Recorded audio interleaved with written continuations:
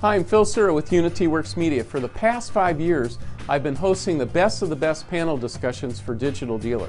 These have been some of the highest attended sessions at the Digital Dealer conferences over the years because we're bringing in the gifted and talented individuals who have proven themselves on the digital side. Our focus this October will be exploring the key opportunities in the digital space. What's really driving sales and results? This will include discussions on how to drive unique visitor counts to your website, how to gain organic search results with Google, managing your SEM, being a dealership with a digital focus, what are the required processes, and new ideas that are driving the ROI. Let's talk about our panelists. We will have Wayne Ussery from the Jim Ellis Group. Wayne has sat in on four of my panels over the years because he's one of the best in the country. His team is selling 675 units each month now. And for those of you not familiar with Jim Ellis, they sell Volkswagens, Audis, Mazdas, and they have one Chevy store.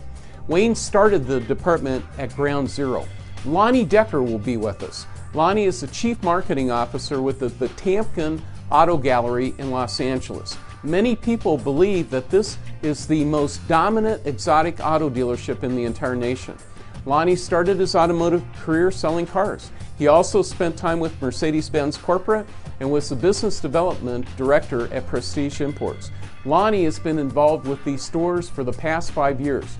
Traffic on their websites have gone from 9,000 uniques to over 60,000. Sales are up 125%, profits up 100%. Here are some of the specifics. These guys have the fastest growing Audi store in the nation the second largest Porsche store, the largest McLaren store, a top tier Ferrari dealership.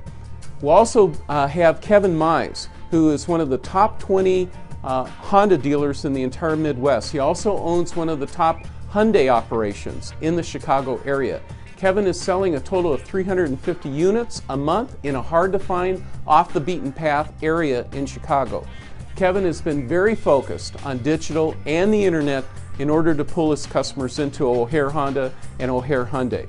Kevin embraces the internet with his entire team, and I'm really excited to get his perspective on this panel.